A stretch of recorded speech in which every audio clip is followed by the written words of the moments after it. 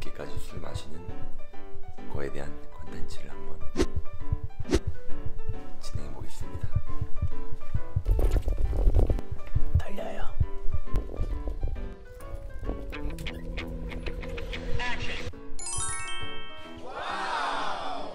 기분 좋아?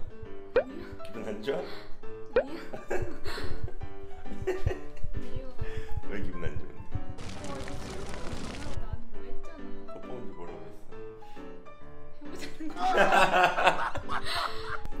우선은 하루 풀어주고 와볼게. 어제 친구 결혼식이 있어가지고 그 결혼식 끝나고 친한 친구들끼리 좀 모여서 술한잔 마셨거든요.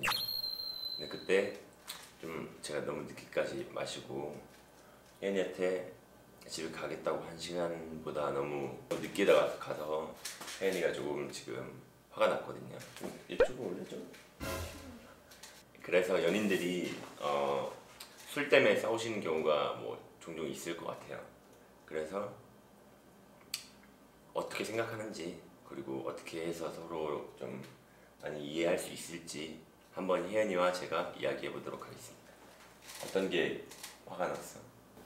일단은 솔직히 나도 오빠가 술을 진짜 한 달 내내 마시는 것도 아니고 진짜 잘 안 먹는다는 것도 알고 어제 친구들 오랜만에 만나서 기분이 되게 좋아 보였고요.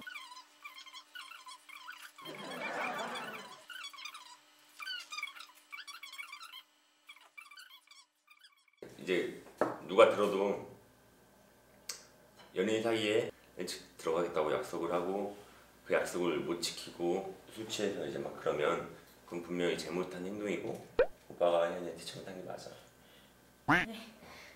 근데 이제 그냥 솔직한 내 입장을 이야기하면 내가 진짜로 그 이제 그 1차 자리 해산, 해산하는 줄 알아서 너한테 이제 끝날 것 같다고 이야기를 했던 거고 친구들이랑 술 먹다 보면 술 좋아하는 사람들은 2차 가자 2차 가자 막 이런 식으로 되는 경우가 많단 말이지.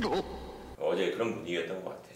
제가 어제 조금 이제 혜연이한테 술김에 뭐라고 했던 이유는 제가 어제 오랜만에 만난 친구가 너무 많아서 기분이 좋았어요. 그래서 이제 혜연이한테 그런 것도 다 말을 했고 하니까 혜연이가 어느 정도 이해를 해줬으면 좋겠는데 친구들 앞에서 이제 너무 뭐라고 하고 하니까 제가 연애 초반에는 술 먹고 취해서 다음날 숙취 때문에 못 일어나고 못 만나고 이렇게 실수를 한 적이 좀 있어서 혜연이가 약간 그거에 대한 안 좋은 기억이 있는 것 같아요. 이제 근데 제가 그거는 연애 초반에 그런 실수를 몇 번 했던 거고 요즘에는 제가 이제 혜연이가 그걸 너무 싫어해서 잘 절제를 하거든요.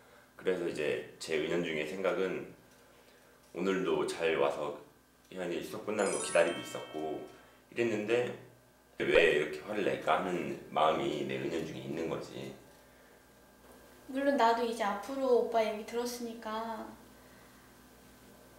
그때 기억을 그냥 생각 안 하고 이제는 좀 더 오빠한테 마음을 잘 열고 잘 해봐야겠다 생각을 하겠지만 다음 날 어떻게 될지는 일어나지 않은 상황이니까 난 그치, 당연히 그치. 불안할 수밖에 없어요. 그렇지. 뭐 뭔지 알아. 중간에 또 이게 배터리가 다 돼가지고 영상이 꺼졌는데 어쨌든 마무리를 하면 너 일부러 참아. 그러니까 제일 중요한 건 말 한마디가 제일 중요한 것 같아요. 저도 사실 지금은 그걸 알고 있는데 그때 당시에는 그게 말 한마디만 너한테 잘해주면 되는 건데 그게 그걸 모르더라고. 그러니까 그런 것 같아.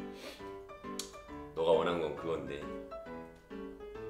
오빠가 그런 부분이 좀 미- 서툴렀던 것 같고 나도 이제 너한테 꼭 앞으로 약속을 어기는 그런 일은 다시는 없어야겠지만 어, 그 이런 비슷한 일이 있을 때 내 상황을 너에게 잘 설명하고 양해를 구하고 이해 너가 날 이해할 수 있게 나도 이야기를 잘 하고 그럴 테니까 너도 오빠가 이야기하는 거에 맞춰서 오빠를 믿어주고 이해해주고 그랬으면 좋겠어. 서로 이해하고 알겠습니다. 이쪽 손 줘야지. 알겠습니다.